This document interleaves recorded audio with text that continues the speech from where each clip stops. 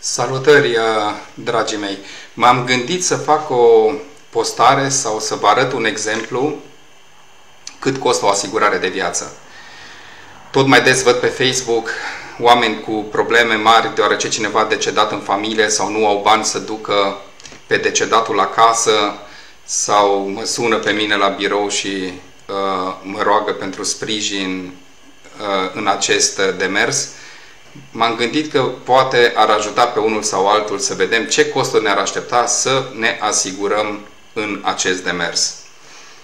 Am luat un exemplu, o persoană născută în 1989, ca profesie șofer de tir, ceea ce este încadrată la C, deci destul de riscantă profesia. Și punem prima dată că este nefumător, așa,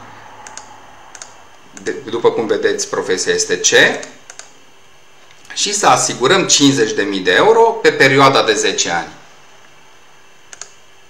Cred că veți fi surprinși cât costă o asemenea asigurare.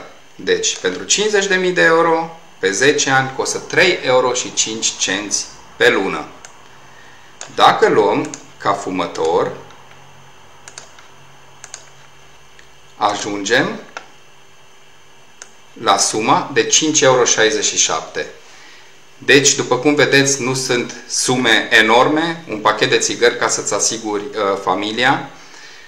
Gândiți-vă la acest lucru și contactați-vă beraterul și faceți ceva în, acest, în această privință, deoarece eu cred că face sens.